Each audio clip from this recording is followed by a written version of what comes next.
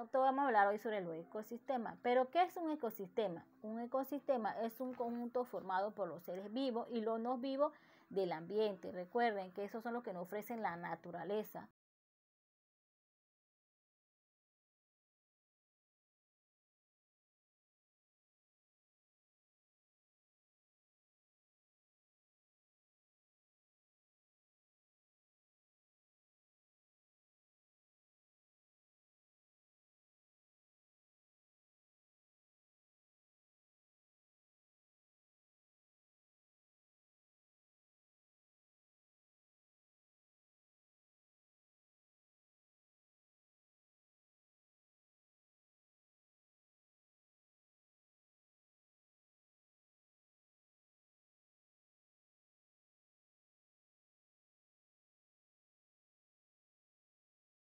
Los factores bióticos y abióticos hacen un equilibrio en el ecosistema. ¿Qué quiere decir un equilibrio? Un equilibrio que tienen que estar balanceado.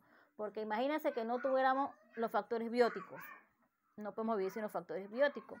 Pero tampoco no podemos vivir sin los factores abióticos. Entonces eso hace que haya un equilibrio en el ecosistema.